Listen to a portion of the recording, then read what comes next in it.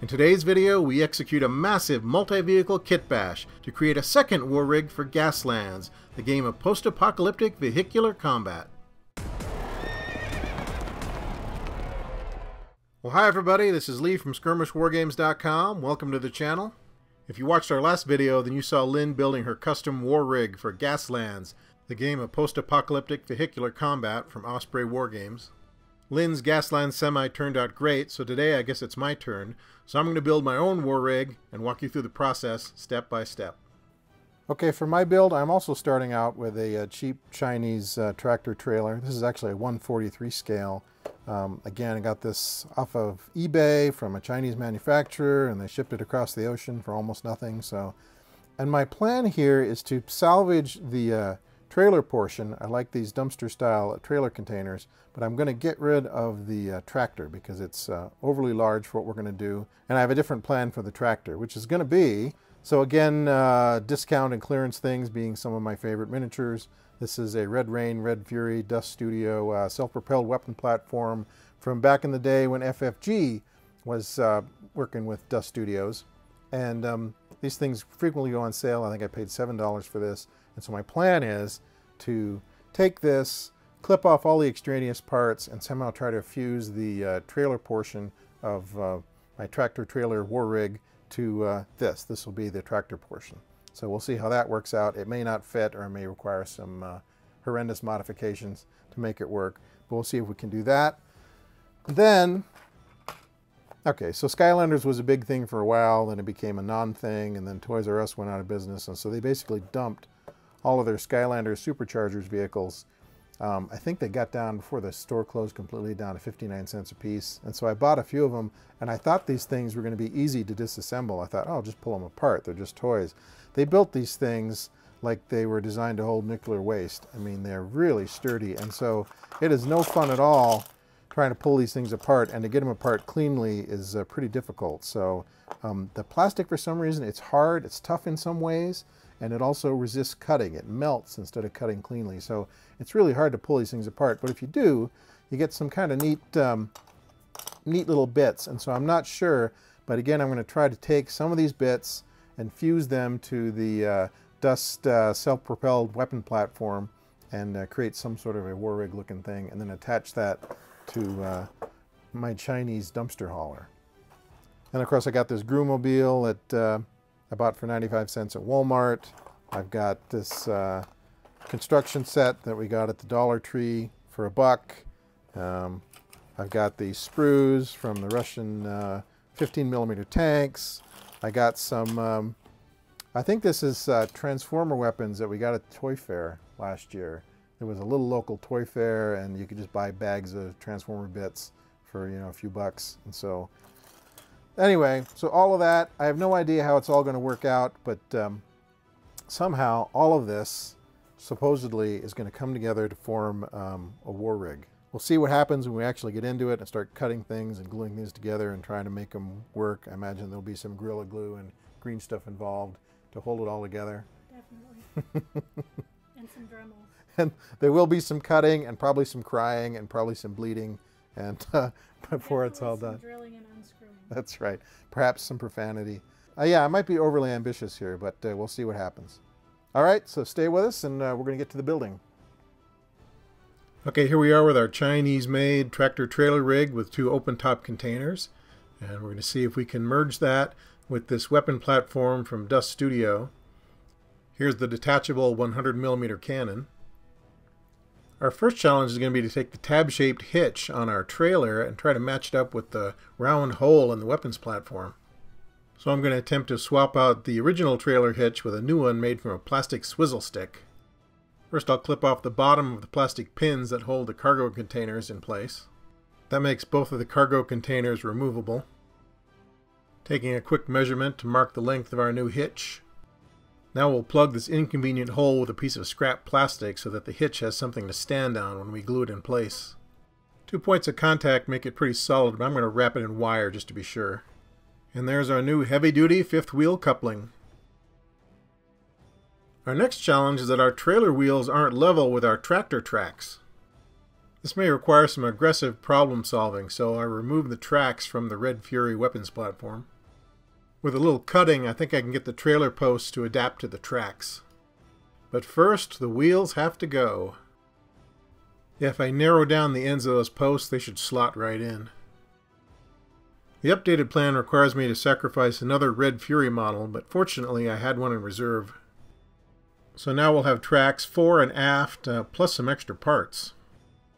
To slim down our 148 scale weapons platform, we're going to use the rotary tool to trim away these metal grates from the sides and the back. Now that looks a bit closer to being a 164 scale war rig. We'll just clip away these 148 scale seats and control arms. Here's our trimmed down engine compartment. Now I'll grind away the side grates from uh, the second weapons platform because it just happens to fit perfectly in the back of our trailer. So originally I was going to use the Grewmobile as the weapons mount on the rear of the trailer, but now I think this is a much better option. And now the plan is starting to gel. I could spend the next five minutes explaining how I tried to make the cab from this uh, Skylander Supercharger Shield Striker vehicle work in my Warrig build, but let's just say in the end it didn't work aesthetically or practically and uh, I scrapped it. However, during that process, I did decide to take the toolboxes from the rear weapons platform and move them to the front weapons platform, which ended up being a pretty good look. Now I still need a driver's compartment, so we're going to sacrifice this Matchbox Willys Jeep pickup and see if that's going to work. Chop shopped for the greater good. And here's what you get when you fuse a 164 scale Willys pickup with a 148 scale Dust Tactics weapons platform. As you can see, I've shaved down the axle posts on the rear of the trailer. And now the trailer slots right in with our rear tracks. Moving on, here are some RoboGear exhaust pipes that I'd like to use. And here's a dollar store fuel tank that fits right into the available space. Maybe that's napalm for a rear flamethrower. So here's where we are at the moment. Now it's time to add some bits. First we'll glue on our Willys pickup driver's compartment. Not a seamless fit, but definitely close enough for the wasteland. Now we'll secure the uh, cab and engine to the frame with some strategically placed green stuff. Gluing on the RoboGear exhaust pipes, they look great, but um, I'm going to have to move them later. I doubt I'll have enough build slots for a ram, so this is just to keep armadillos out of the radiator. Gluing on a couple of small resin pieces for the side of the engine compartment. I thought these resin window armor pieces might work for the side windows, but they're too big and they don't sit flush, so we're going to scrap them. While I consider my window options, I'm going to weld the trailer to the rear tracks with some globs of green stuff. It took some finagling, but now we have a functional tractor-trailer rig. Unfortunately, the rear exhaust pipes don't offer enough clearance, so they're going to have to be forcibly relocated. There, now the rig can properly jackknife when it loses control. So here's where we're at, three different models merged into one. After some consideration, I decided to move the exhaust pipes to the passenger side, which means he's going to need some heat shielding courtesy of diamond plate plastic sheet. Now who's ever riding shotgun won't be roasted by the exhaust pipes. And speaking of diamond plate plastic sheet, here's a top I made for the cargo container. It's reinforced on the bottom with an old Starbucks card.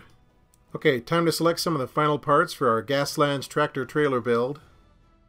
At this point I'm thinking about a front-mounted missile launcher and a rear-mounted flamethrower.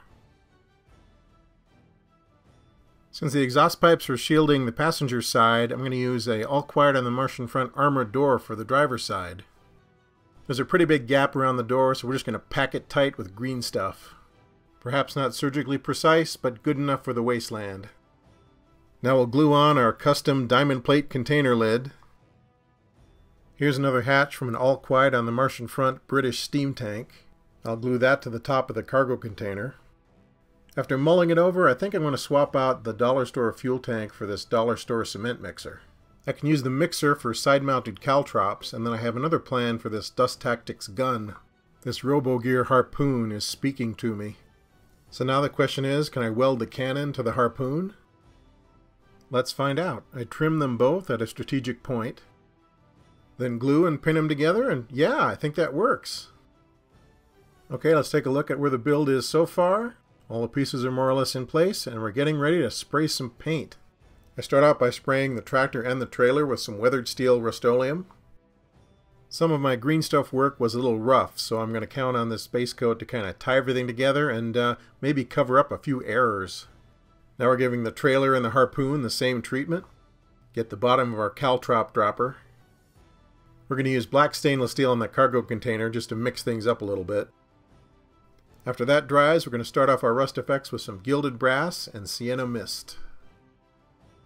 Unfortunately, both those paints were too shiny for proper wasteland corrosion, so after the fact, I went back over everything with some Rust-Oleum, weathered rust, and that darkened everything up considerably. There's a closer look at the harpoon. I'm pretty happy with how that turned out. And there's the black stainless steel cargo container with a little weathered rust. Now I'm going to go nuts with this Citadel Ryza rust effect. I'm going to dry brush it on everything and then hope I get some orange highlights to cut through all that brown. Yeah, that definitely worked. It certainly makes the edges pop. Now I'm going to do a little brushwork with some different shades of light rust and dark rust. Here I'm using the dark rust to paint the shield on the harpoon. Next I'll dry brush the barrel with some of the light rust. This thing has tetanus written all over it. All this rust created a very cool junkyard effect, but I'm worried we might be a little too monochrome. So to add some color, I'm going to try to sponge on some faded paint. Using an old sponge fragment from a miniature blister pack, we're going to dab a little paint here and there in likely areas. I kept it to a minimum, but I still think it helps. Now I'm going to dry brush a little gunmetal on areas where the rust is likely to have rubbed off, like on the tracks and the wheels. I'll also hit some other areas that could use a little metallic shine, and keep in mind I'm just making this up as I go. Okay, so that's toned down some of the rust a bit, but I'm still going to have to think about some additional color. In the meantime, let's apply some grime. I like to use a little Nuln Oil in the seams and the rivets. Okay, after sleeping on it overnight, I came back the next day and decided to sponge a little more color on the cargo container, on the toolboxes on the truck, on the uh, cement mixer on the trailer, and uh, just give things a little splash of color so it wasn't all rust and brown. Again, this was just dabbing paint on lightly with a tiny bit of sponge, and it created a pretty cool effect. Okay, the last things we have to do is glue on our rooftop rocket launcher, find a good perch for our exposed crewman, and attach the cargo container to the trailer, but I'm not going to glue it because the original truck came with two cargo containers, so I can build out a second one, keep it in reserve, and just swap them out whenever I need a different configuration. Oh, and here's a final look at the harpoon. I threw a little uh, gunmetal blue on there just to make it look like a well-oiled machine.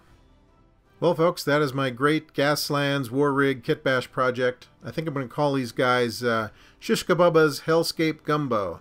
And they're a bunch of uh, rad scorpion and sandworm hunters that occasionally get into a little piracy, perhaps a little aggressive salvaging, but mostly they uh, hunt things out in the wasteland, make gumbo, and sell it at uh, the various Gaslands events.